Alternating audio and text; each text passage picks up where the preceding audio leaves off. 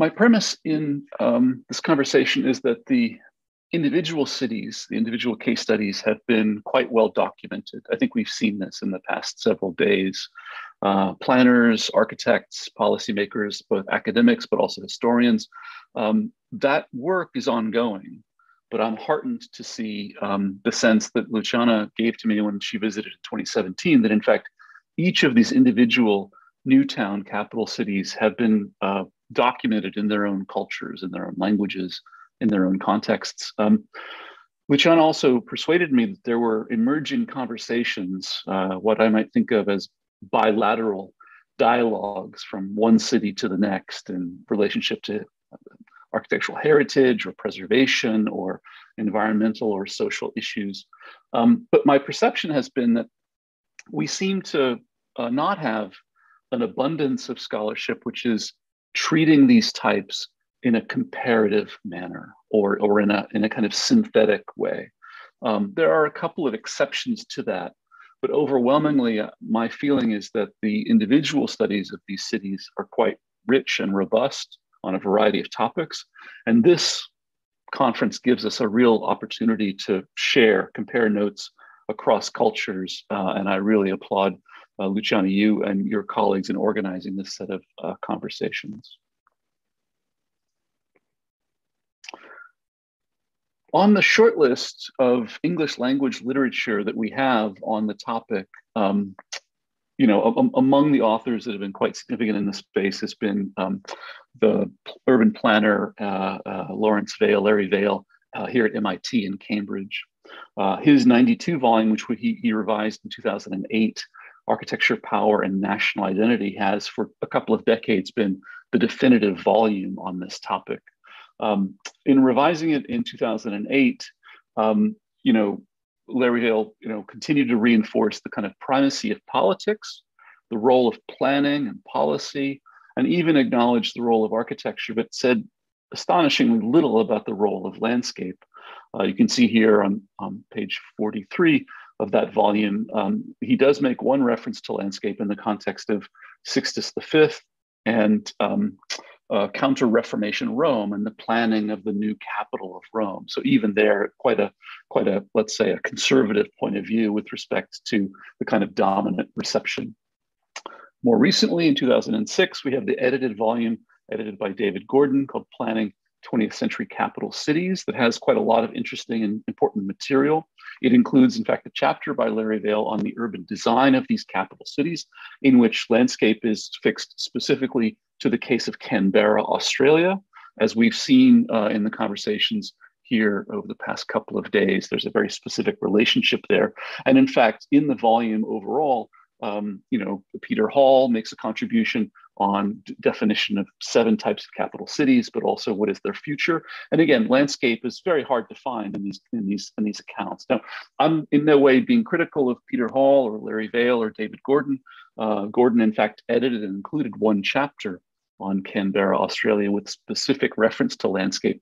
But my point here is simply to suggest that in English, we seem to have a, a paucity of material that looks synthetically across these cases when they do um, appear, they tend to neglect landscape as a lens or a way of understanding these places. And that's something that I'm hoping that this conversation can address, but also our work going forward together might be able to address, because I think it's quite a, a missed opportunity uh, in that respect to neglect landscape as a particular uh, frame of reference. As we've seen in the past several days, of course, um, this uh, putative uh, history of landscape as a lens for new national capitals. We might begin with the American experiment. Here, this is L'Enfant uh, 1791 manuscript copied in 1887. Ultimately, of course, um, we see here the example of a national new town as capital on a so called greenfield site that was perceived to be empty as the resultant of a political compromise that aspect of this work continues into the 20th century.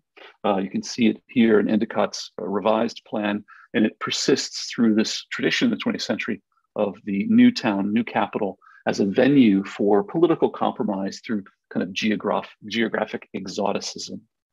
Uh, this is the 1901 uh, McMillan plan, which embodied that and brought it to, to realization. Similarly, as we uh, heard from uh, Robert Freestone, uh, Canberra, Australia is a significant case here. Uh, this is, of course, the Canberra City Plan from 1912 um, with uh, Robert Burley Griffin and Marion Mahony Griffin. Uh, of course, you know, Robert Freestone referred to Canberra as something as received as a, a garden without a city, something more of a suburb. Um, I'm quite struck by this drawing. This is Ink on Silk by Marion Mahony Griffin. And of course, there's a deeper story to be told here, both about their partnership and Marion Mahony Griffin's contributions to this project, but equally to the embeddedness of landscape architecture in these practices. If in Washington, D.C., we saw the tradition of a kind of Beaux Arts design in which um, McMillan commodified a kind of uh, city beautiful following Burnham uh, and the plan for Chicago. Uh, the Griffins embodied that equally in their plans for Canberra. And in that regard, I find both Washington, D.C. and Canberra significant cases. But in fact, we might add to that list Ottawa, Canada, or other examples where landscape was integrated, but in a kind of city beautiful modality, emulating the model of, um, of, uh, uh, of Chicago and Burnham's plan of Chicago. And while these are quite significant case studies, my claim here is that these precedents don't really fully anticipate uh, the canonical examples of 20th century uh, planning that we've come to appreciate in these days. While those projects are notable for incorporating landscape architecture, they do so in a way that's quite distinct from the main body of work in the 20th century. By contrast, we might consider the five cases we've heard about uh, these past few days here in this space uh, all coming from the global south, interestingly.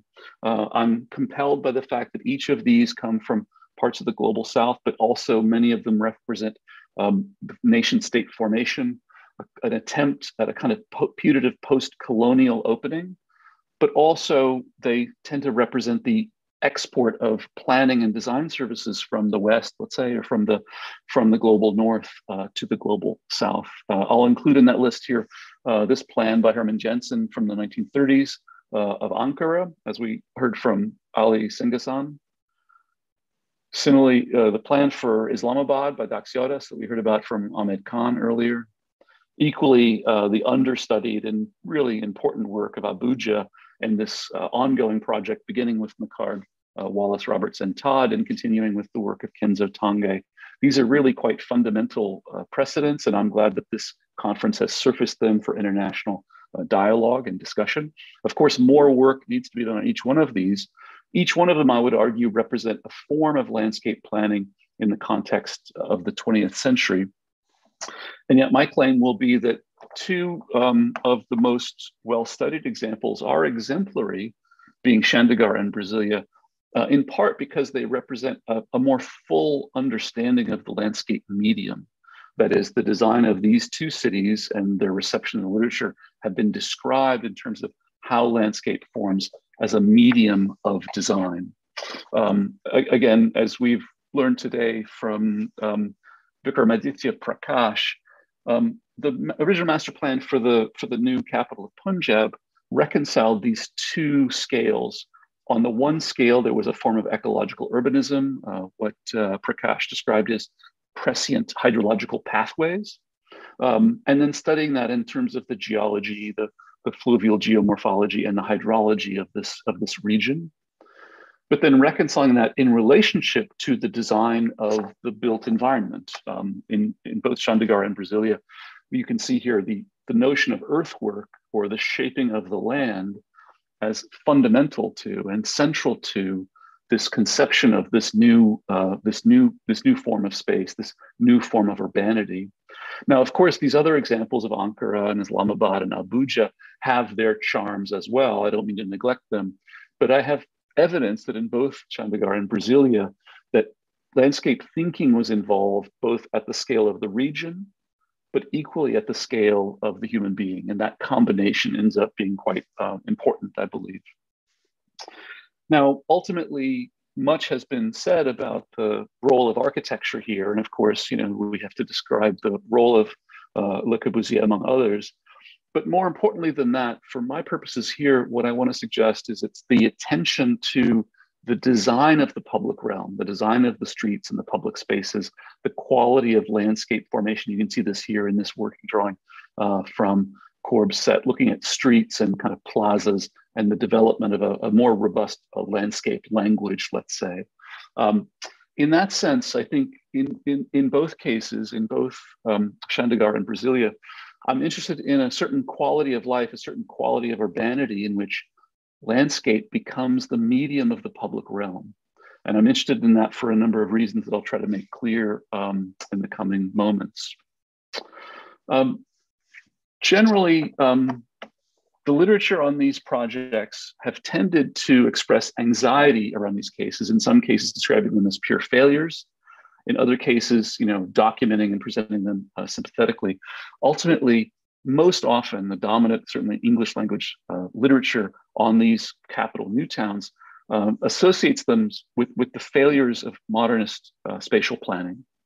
Uh, these cities tend to be critiqued uh, as either too utopian or too rational, or paradoxically, often both. these designs are critiqued as both being somehow utopian, but also too, um, too functionalist. Um, oftentimes, these cities are critiqued for their representation of forms of top-down political power. And often I find uh, my colleagues are you know, anxious about the expression of that spatial authority, let's say. Um, equally often, the critiques of these cities tend to reinforce critiques of decentralized 20th century urban form associated with automobility.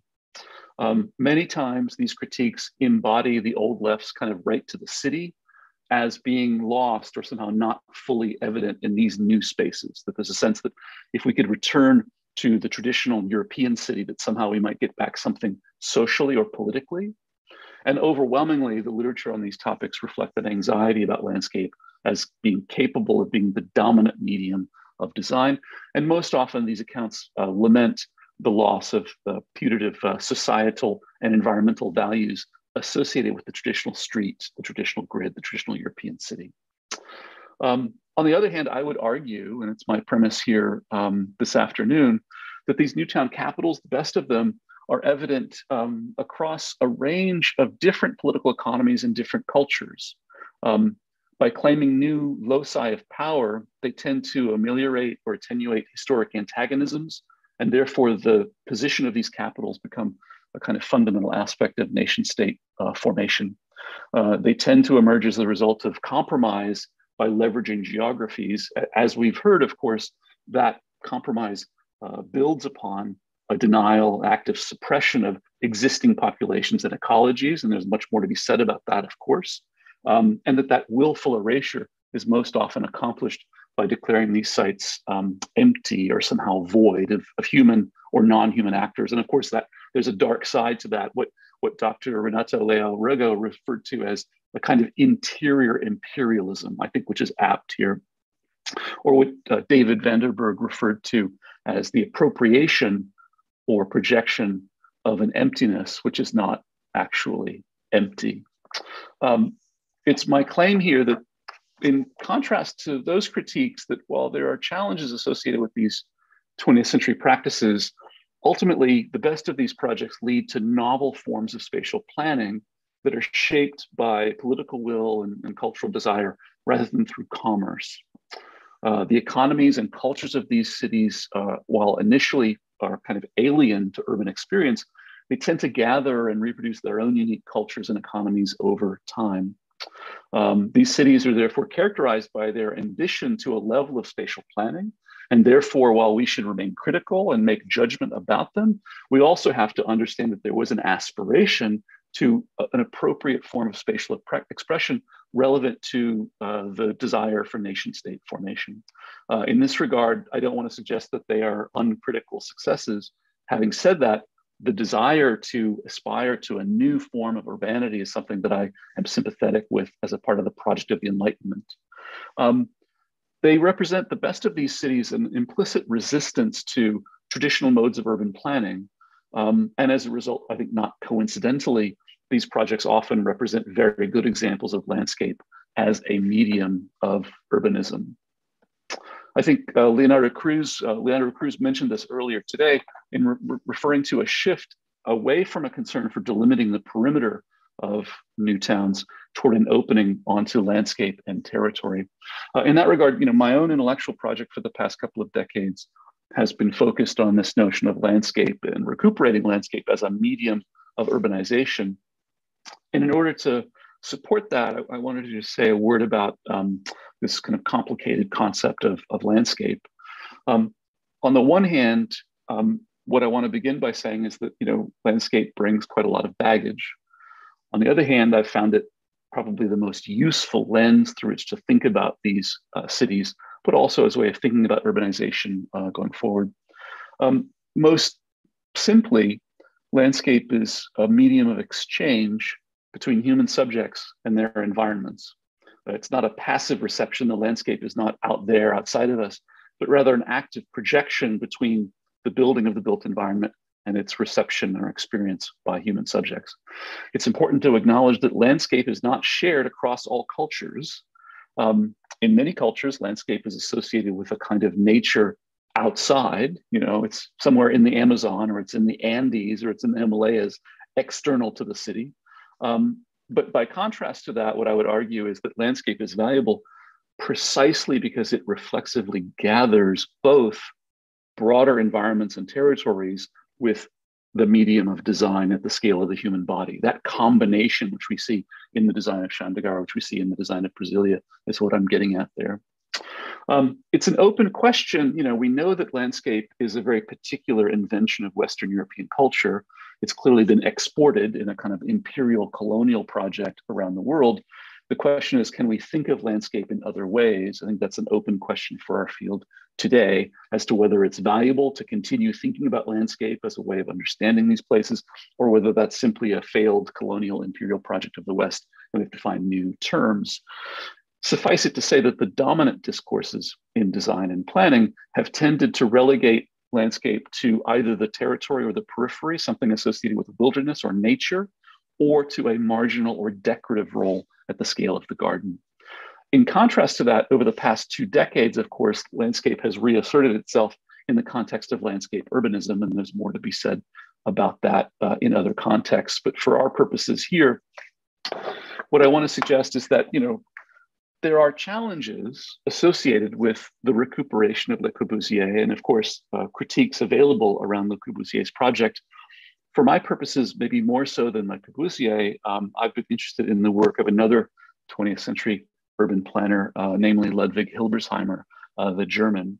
Now, Hilberseimer never designed a new national capital, so far as we know. He designed quite a number of things. Very few got built, but it's um, Hilberseimer's conception of landscape as the dominant medium of 20th century urbanization that I'm most interested in. You can see that here in his concept of the settlement unit, which he published in 1949 in the new regional pattern, um, both in his work in Berlin uh, before the war and in Chicago from 1937 38. Hilberseimer was interested in a form of urbanization in which the traditional city gave way in favor of a form of landscape urbanization. Uh, for Hilberseimer, it was not political power, it wasn't the new national capital, but rather for Hilberseimer, it was industrial economy. He was working in the wake of Henry Ford, Ford having argued that, in fact, industry would decentralize the city. And in fact, that's what came to pass in many American cities. Um, Hilberseimer, of course, um, was widely criticized for this work um, and came to be seen as uh, the best evidence of the failures of modernist planning. But what's interesting and less well reported is that he also produced, through his theories, the best example of publicly subsidized uh, modernist housing in the history of the United States. Uh, this is Detroit and his project that came to be known as Lafayette Park, in which um, a site that had sat empty for four years was reconceived by uh, Hilberseimer as planner, Mies van der Rohe as architect. I mention this here in part, again, to re reference the notion of landscape as a medium through which the contemporary city might be rethought. And revisiting this and recuperating this as an alternative strikes me as an important project going forward. It's true that, in, in fact, um, uh, in spite of its using landscape as a primary medium of urbanization, primary medium of design, Lafayette Park is to this day uh, both more diverse uh, racially and ethnically than either the city of Detroit or its suburbs. It's also, of course, much more environmentally sustainable, but also has maintained its real estate values. You can see here 1956, 57, and then uh, two decades ago. Uh, it's a medium uh, of design in which landscape is the primary medium of the public realm. Uh, it's a place of gardens and beautiful tree canopy. And I want to invoke this here to suggest that, you know, Chandigarh, Brasilia sit in a constellation not just of new town capitals, but also of um, sites that have been reconceived, forms of urbanity in which people are um, people are living extraordinarily rich and diverse uh, and fulfilling lives, in spite of the critiques of this kind of design work that's, that have been leveled. Now, of course, I'm interested in the fact that Hilberseimer was citing Henry Ford, the the rabid uh, American proto-fascist who was funding, you know, Adolf Hitler, and thinking about Brazil and Brasilia, and thinking about what we've discussed these days um, about the imperial project of interior colonialism. Um, I, of course, have to mention the, the failed project of Fordlandia. This was the 1928 to 1934 uh, colonial plantation that Henry Ford and the Ford Motor Company conceived to develop as a kind of uh, rubber plantation along the Tapajós River. Um, many, many things to be said about this. Uh, I want to refer to uh, Renato Leo Rego's concept of Amazonia as a graveyard of failed modern planning ideas. And I would certainly put this as a kind of poster child. Now, while this was not really a new town per se, but more of a kind of uh, plantation colony, I do have to acknowledge this as really the, the sins of the kind of imperial colonial project associated with advanced capital in the 20th century and in which, of course, we have to understand this as a purely instrumental projection of power. And I want to, I want to, you know, indict this uh, and its failings, its cultural failings, its environmental failings, but also its failings in terms of human beings and human subjectivity. To kind of the, the idea of importing uncritically a kind of American model of industrial enterprise into the Amazon, of course, uh, is a, a, set of sins uh, that are reprehensible uh, by every measure. Um, and of course, we're fortunate that there have been quite a number of scholars looking at this and its failure over the recent past. Uh, but you know, the idea that this was a project of literal colonial pro projection of space and authority onto the Amazon uh, on the backs of you know Brazilian bodies. Um, it's been well described in the um, in the literature. The extraordinary work by Esquiglia and and Grandin, among others. I'll, I'll, recommend you to that if you're not aware of it. Um, um continuing with that line of thought and thinking more precisely about you know the pilot plan and you know Niemeyer and Costa and Burle Marx et alia, um, I, I want to return to Dr. Leo Rego's presentation of the 20th century Brazilian new towns. Um, and I want to make a distinction. I, I think that in fact the, the, the capital city projects that we're describing here they are they are quite distinct. Um, we tend to view these um, exceptional cases with a kind of suspicion, in part because they don't tend to be or seem to be generalizable. That is, they don't seem to produce knowledge about how to urbanize elsewhere.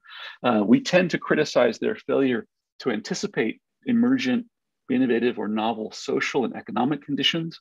And we tend to be uncomfortable, frankly, with this brutal expression of state power.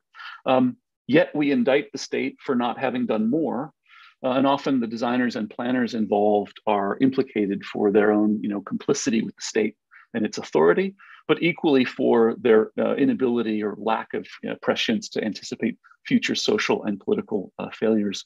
Uh, most often, these critiques of Newtown capitals, they hinge on the perceived environmental or social values of continuity associated with more traditional urban forms of street and square and city grid and the like. And while they may have their charms, it's my contention that in fact those traditional forms may be more appropriate to the Western European context that they emerge from. They might be less appropriate to post-colonial emergence of a kind of nation state forming its own modernity. Now, of course, that modernity was itself the result in, of an inheritance from Europe, so it's more complicated. But as far as I can tell, the best of these experiments represent forms of urbanity that are, I would argue, just as culturally enriching, just as socially diverse, and I would argue even environmentally more healthful than either the traditional European city they abandoned or the neoliberal financialized urbanization engine that we see in most cities uh, today. Uh, of course, we can indict the planners and architects of these places for their lack of anticipation of the extraordinary population growth and demand for these cities. Uh, yet we can agree that those places were spatially designed with a coherent project that they remain as exemplars in contrast to the alternatives that have emerged around them or since.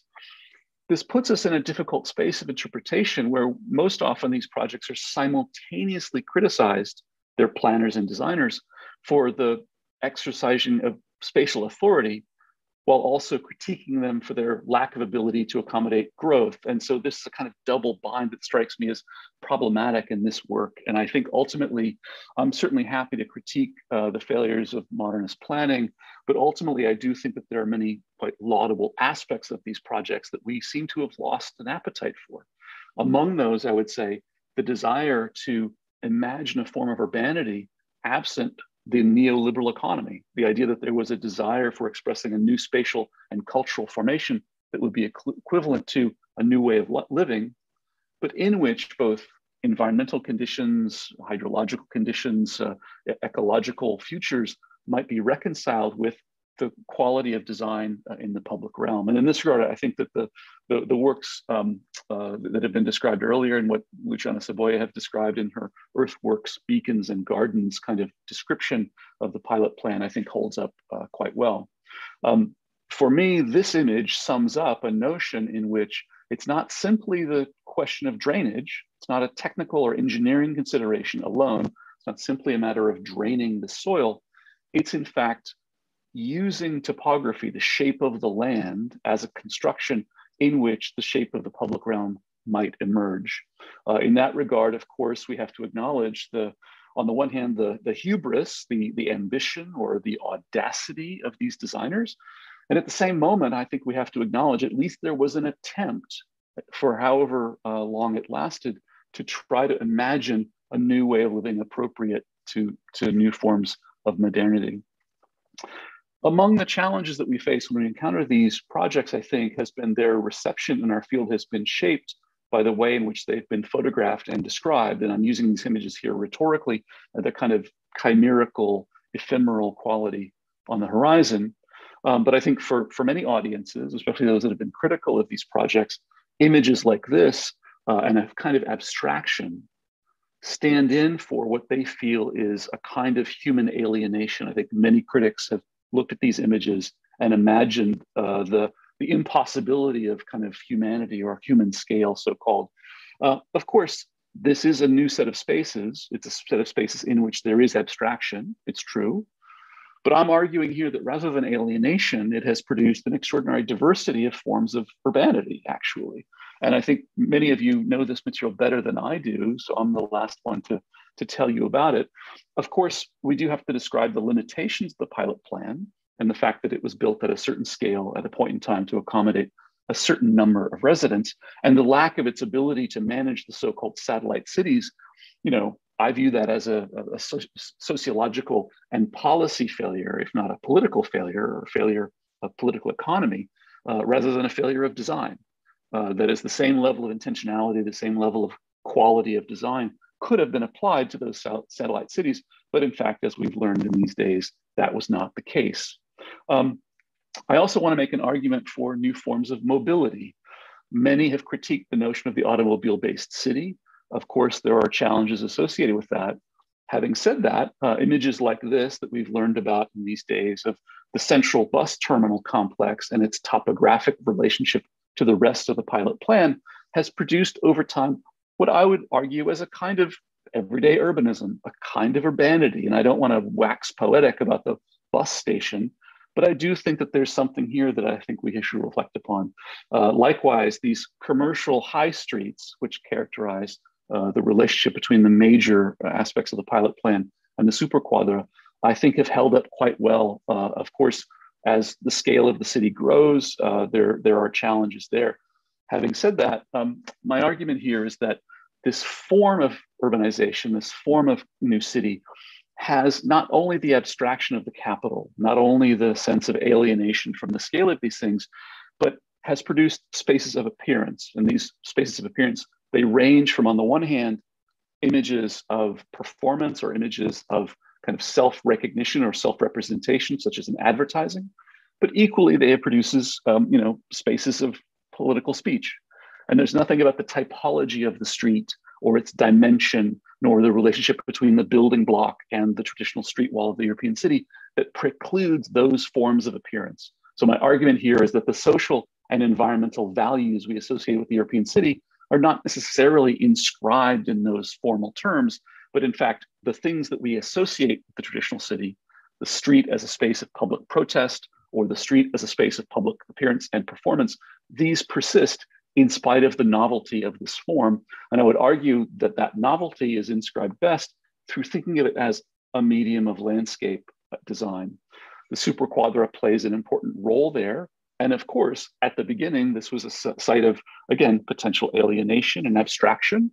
But at the same moment, over time, that form of alienation and abstraction gives way into deeper, lived, and more meaningful cultural experiences. Uh, landscape is a medium that takes time, but I would argue in a place like Brasilia, landscape is the medium of public appearance, it is the medium of the public realm, and it's the quality of design, not simply the presence of hydrology or engineering to drain the site, but it's in fact the presence of design from the scale of the region or the territory through the design of the street to the quality of the plant material, the shaping of the ground material, and to the individual gardens that characterize the kind of proximate lived experience of this place. Now, there's more to be said about differentiating between the quality of these spaces. And of course, many, many people, designers, architects, landscape architects, and designers to be credited here.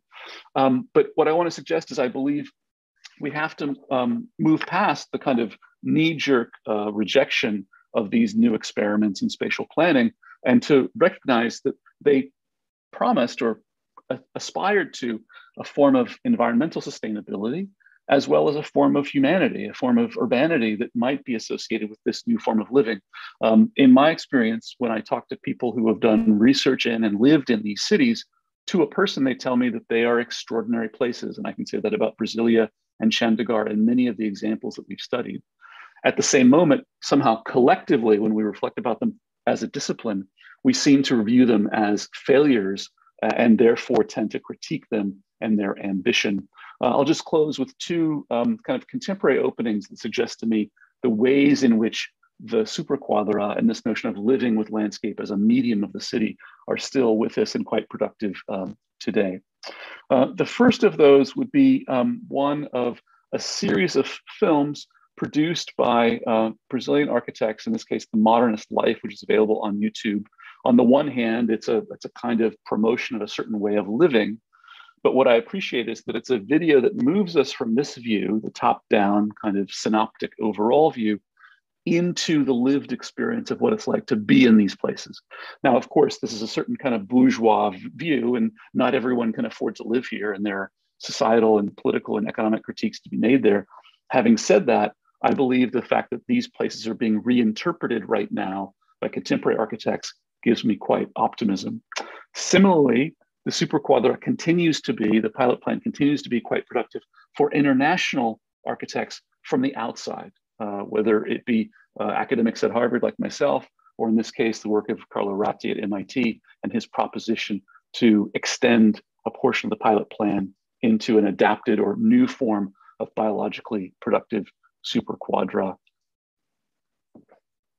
In closing, let me just say again, thank you, Luciana. Thank you to all the organizers. It's a great pleasure to be here. Um, I am humbled to be in the presence of such extraordinary thinkers, scholars, architects, planners, and I'm happy to contribute to this project going forward. I will likewise welcome you all to visit us in Cambridge. We are open for business. We're happy to visit you as well, uh, and we'll look forward to the discussion going forward.